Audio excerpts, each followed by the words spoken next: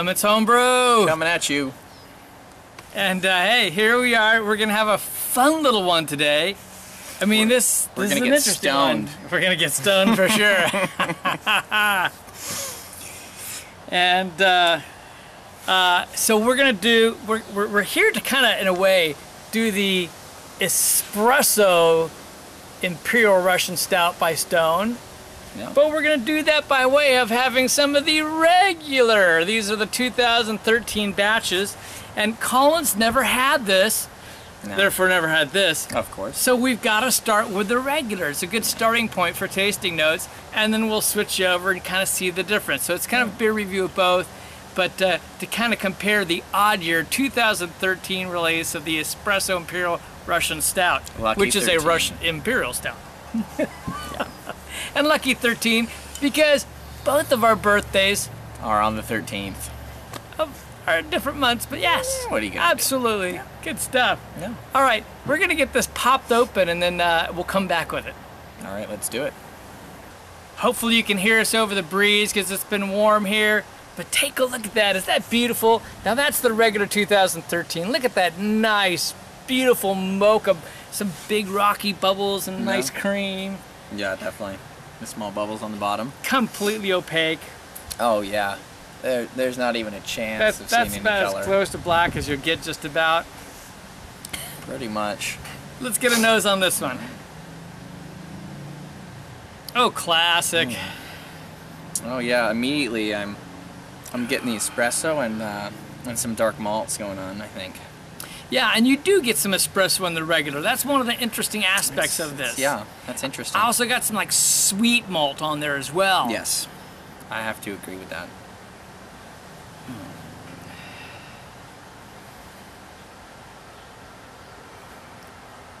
I almost get like a like a berry or towards a currant type flavor on that. Yeah. Really kind of deep and rich though. It's uh, not not a light sweet, you know. No, it's it's kind of like a tangy sweet, but it's it's hard to describe, kind of. yeah, and and almost like a little bit of burnt, some burnt malt on it actually yeah. as well. Yeah, I think that's what it is. A little bit of the burnt going on.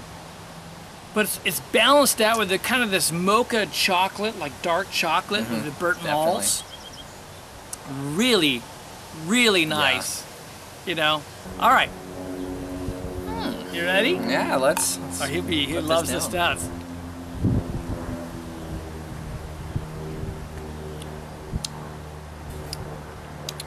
Is that not wonderful? Mm. That is good, people.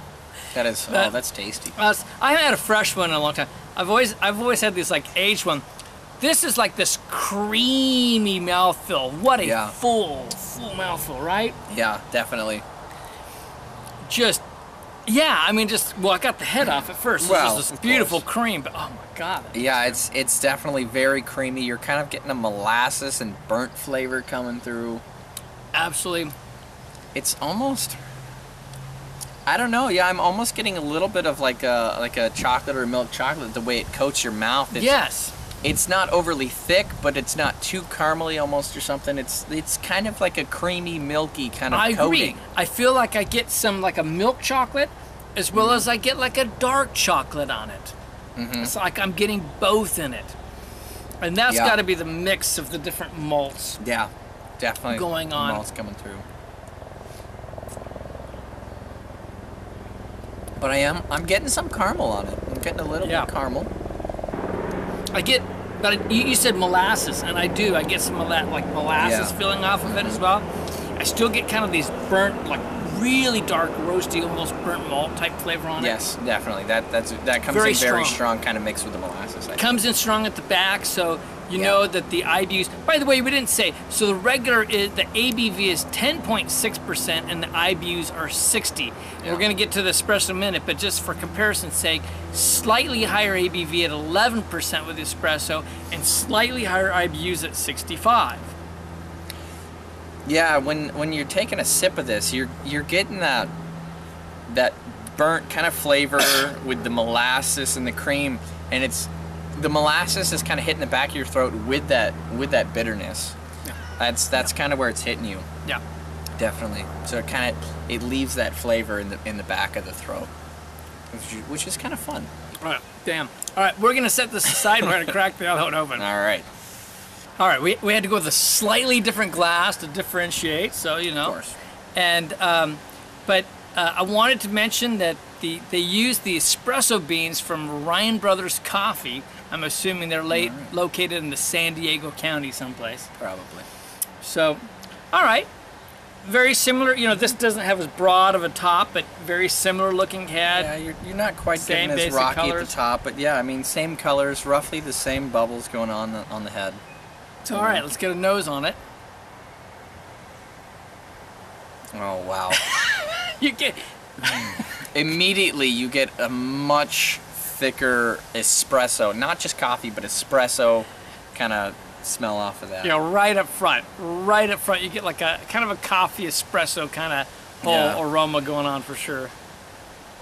Which actually almost brings forward a little bit more of the malts and almost a little bit more of a dark chocolate. Exactly, you nailed Yeah. that. It's I was exactly gonna say It's that. chocolatey, but not the same as the the regular. It's definitely a darker cocoa, and it's a darker malt kind of thing. Yes. I'm not getting as much of the fruity kind of smell in it though. no, no, I'm not either. Maybe there's there's a little bit of sweetness coming off the aroma. But I also here. get a little bit of a, like a milk chocolate aroma too as I take it. So I mean, I got some deep Yeah. dark, but I also got some uh, of that milk chocolate aroma. But Yeah, it's right. like all kind of accentuated because you got so much of the coffee espresso going yeah, on. that that's the first thing that hits you. It's it's like walking into a, a Starbucks or Peet's or whatever. I mean, you name it, coffee shop. When you were first walk in, maybe early in the morning when there's a lot of flavors going on, it just it hits you like a I can just keep shop. smelling this. Mm. So good, so good. All right, So chocolatey, so so coffee like. dive in.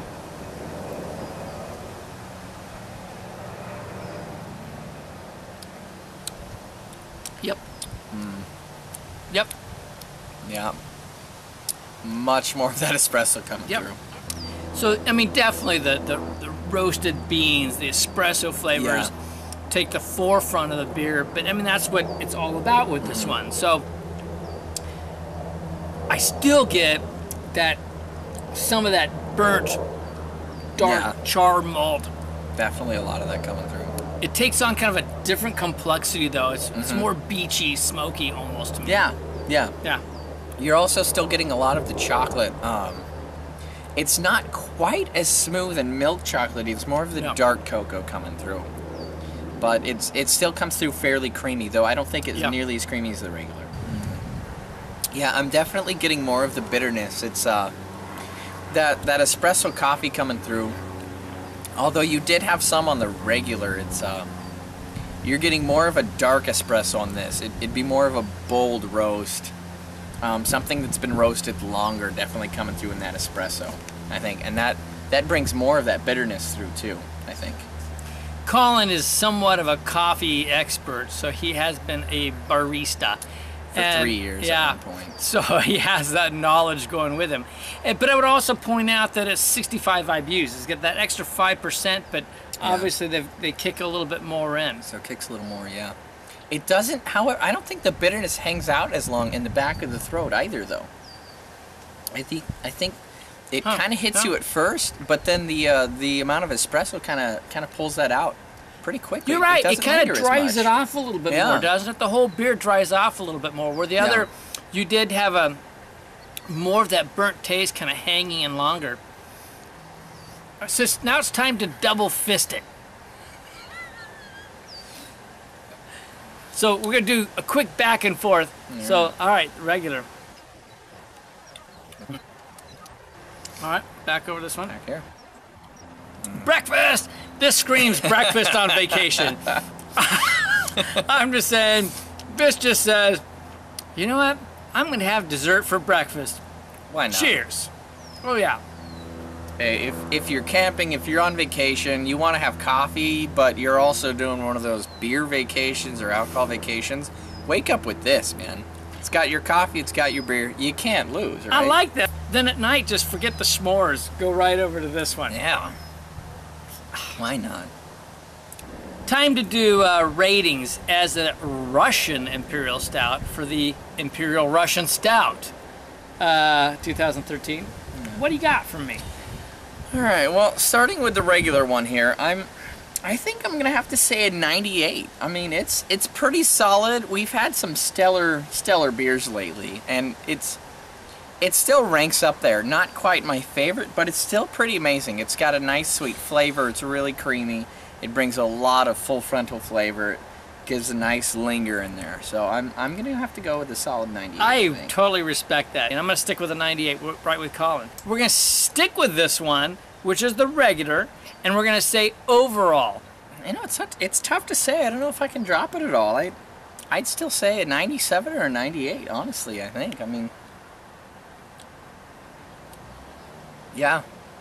I mean, it's got great flavor. It's got smokiness, and it's got yeah, it's got just about everything you could ask for. I think. I mean, And and I'm only gonna drop one point to 97. Uh, I Yeah. mean, it, it just really is. It's that killer of a beer.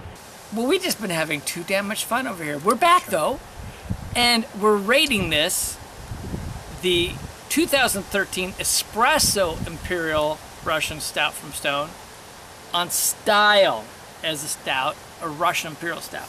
I, I do have to drop down. I mean, I, I totally enjoy this one. It is really delicious, but it's still it's still way up there. I'm sorry. For me, it's still a full-on A beer. I'm giving it a 96. That's that bump. It just the bump to keep it in the world class because it is a world class beer. This is a phenomenally good beer for me. yeah, and and I I'm gonna have to agree. I was I was still thinking that it was about a 97 myself. Fair So, enough. I mean, it's it's still great. It's it brings a lot of full frontal flavor. You know, and it's really chocolatey almost in a way, and and really coffee like. But you know, it almost brings too much of that bitterness at at points when you take a full mouthful, and then it fades a little bit quicker in the other one.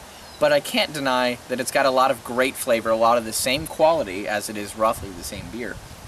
And, and it's still, I'd say it's still world, world class. So now we're going to go for the overall. I'm going to go to a 94. I'm going to put it in the excellent category, the top of excellent category. Not world class, but top of excellent. And yet, really good beer. Really, really, really good Yeah, beer. and and I still have to, you know, I have to agree. I'd, I'd have to drop it to a 96 or, or a 95. I, it's really tough for me. I, 95. I'm sorry. It just it dries out so fast. It's a really great Yeah. flavor. It comes on really strong, but it really it doesn't last too long. You have to keep constantly sipping this thing to get, keep that flavor in. And yet it's something that you've got to sip slow. It's not a chugging beer. So I think that's kind of what That's the drops it. addiction factor. Yeah, well, You dry out and you make him have to have another taste. It's the addiction factor. Anyway, darn you guys. damn it. And I, I, I have two glasses to finish. It's tough.